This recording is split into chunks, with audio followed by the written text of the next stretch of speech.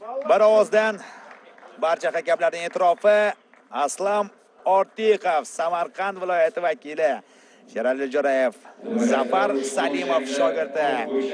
Aralash jang san'atlari bo'yicha o'zbekiston kubogi bahslarida yoshlar o'rtasidagi musobaqada eng yengil 52 kilogrammgacha bo'lgan vazn toifasida g'olib chiqmoqda mana o'zbekiston kubogi sohibi 50 kilogrammgacha bo'lgan vazn toifasidan xursand albatta mana shu jangchi demak kumush medal finalga qadar yetib borgan husanjon ortiqov bronza medallar ushbu vazn toifasida nodirbek abdullayev xorazm viloyatidan hamda said akmal taklif etiladi salomov toshkent shahridan navoiy viloyati marhamat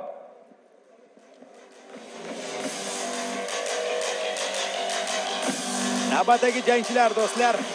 Reysga chiqib kelmoqda va navoiy viloyati vakili jamshid tillayev birinchi bo'lib